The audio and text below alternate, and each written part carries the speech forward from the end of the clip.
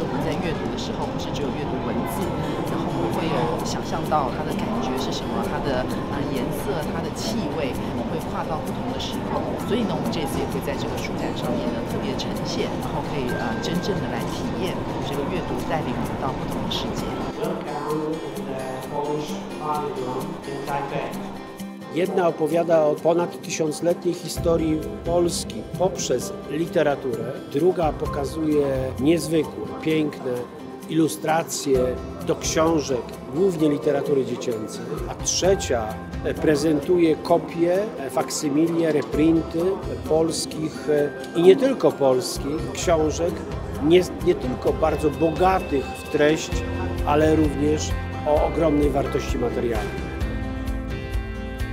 We have a really big stand and several events planned with such highlights as Andrzej Sapkowski, Witold Szabłowski and Piotr Socha. I'm visiting this uh, fair almost every year, so I enjoy it very much always. And it's like international community meeting together and exchanging ideas. This is my first time here. I never expected the, the huge festival like this. This is really huge and really helped too. I have a lot of connection from this event.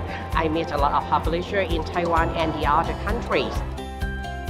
The opportunity to meet a lot of Taiwanese publishers and also some readers. I think I have been here for 20 years. Every year it's uh, fun for me. I've been coming to uh, Taipei Book Fair already many, many times in the past. So I'm happy to be here again after four years. So happy to be here and to share our books with everyone. 那对出版社来讲，我也很开心看到读者的回流，能够在这边看到很有生命力、多样性的产品，也给了我们出版社一个很大的强心针。